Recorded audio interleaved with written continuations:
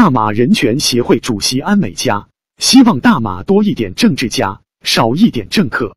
他今日在推特发表多篇推文，表示理解大马人对西蒙政府的失望。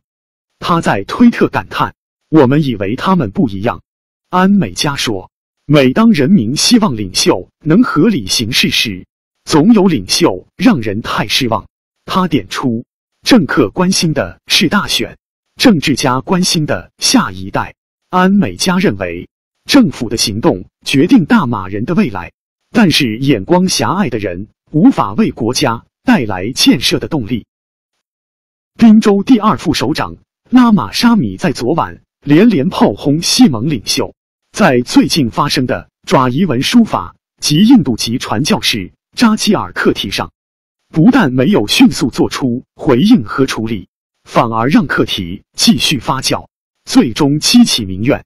他说，尤其是代表华裔和印裔的行动党，有不少领袖保持沉默，那不止让人民深感失望，也令他感到伤心。来自行动党，也是北赖区州议员的拉玛沙米，昨晚出席才能源泛商工会盂兰盛会晚宴时，提及最近发生的爪夷文书法。扎基尔及莱纳斯稀土城等激起民怨的课题时，越讲情绪越激动。我要求行动党领袖不要进了内阁就闭嘴。我要告诉林吉祥和林冠英，我们是人民选出来的，必须对人民负责，务必切记要为人民勇于发声，并站稳定立场。他提醒西蒙领袖和首相敦马勿忘初心。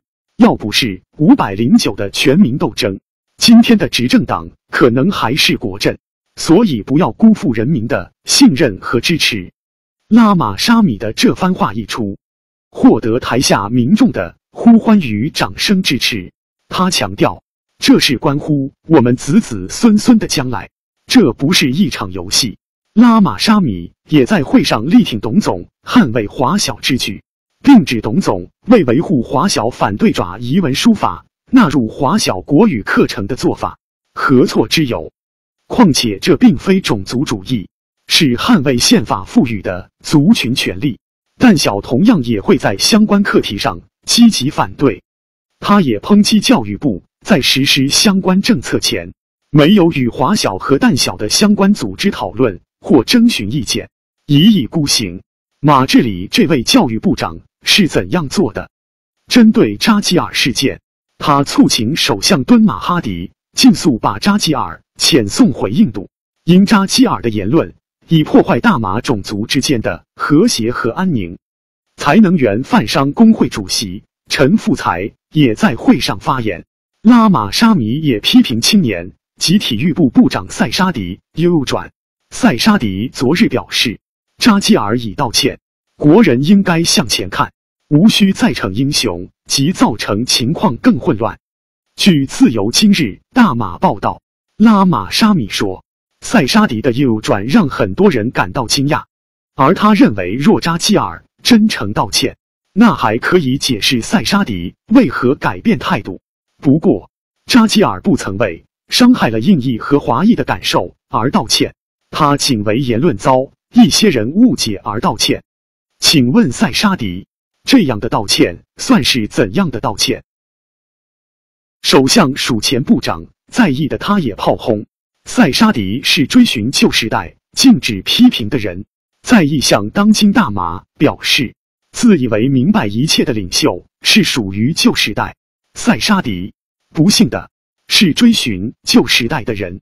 青体部长塞沙迪认为，非政府组织促请政府。暂缓落实爪夷文字单元课程，否则将在全国发动罢课的行为，是愚蠢与自大之极的。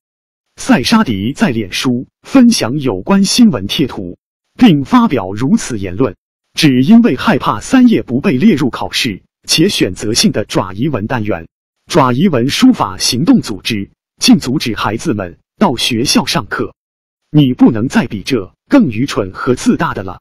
他贴文写道：“在青体部长塞沙迪与印裔籍传教士扎吉尔聚餐引起网民的炮轰之际，内政部长穆尤丁今日公开为塞沙迪的举动缓评，并表明他只是以个人身份向扎基尔抛出橄榄枝。他指出，塞沙迪的言行举行不代表政府的立场。他披露，其实不只是塞沙迪与扎基尔会面，很多反对党领袖也与他会面。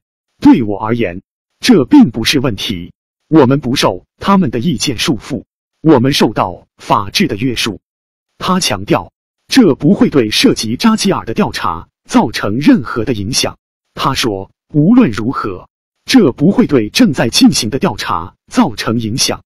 穆尤丁是在出席一项研讨会后，在新闻发布会上就塞沙迪与扎基尔聚餐引起争议一事作出回应。他强调。作为大马永久居民的扎基尔必须遵守我国法律，若他犯罪，也同样的面对法律制裁。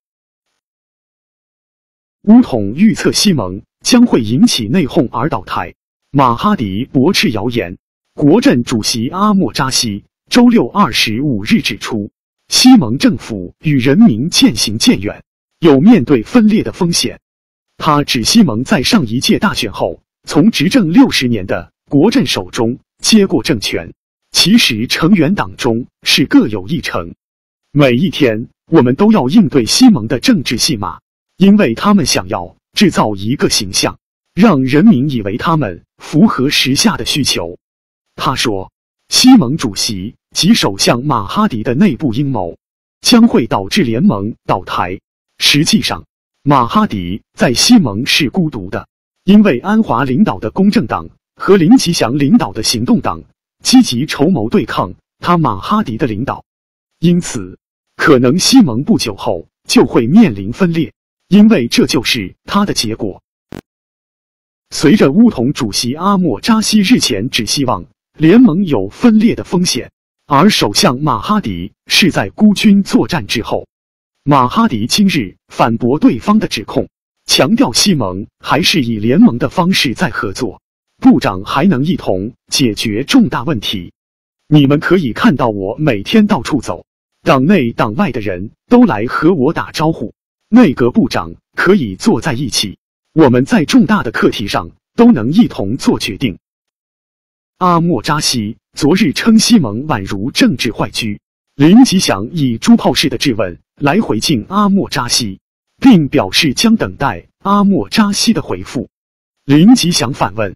如果不是患上政治坏疽，为什么阿莫扎西在面对四十七项贪腐罪行提控后，于二零零八年十二月十八日休花园假期，暂时卸下乌统主席的职位？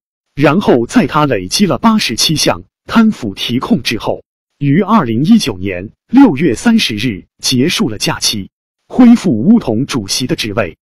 如果不是患上政治坏疽，为什么阿莫扎西被提控犯下八十七项贪腐罪行，并被加冕为贪腐控状之王，甚至击败迄今为止面对四十二项贪腐提控的前首相，冠上全球盗贼统治者骂名的拿督斯里纳吉？他反问：如果不是患上政治坏疽，为什么乌统部长和领袖没有在第十四届全国大选前阻止一马发展有限公司？幺 MTB 丑闻，根据法庭上的供词，反而是强迫部长们为幺 MTB 丑闻撒谎。林吉祥说，从阿莫扎西的演讲中可明显看出，乌统领袖希望希望联盟被政治坏疽打击，因此他们必须让他失望。他提到，西蒙领袖必须承认大部分支持者的失望和幻想破灭。他说。尽管支持者的失望和幻想破灭可以理解，却是完全错误的。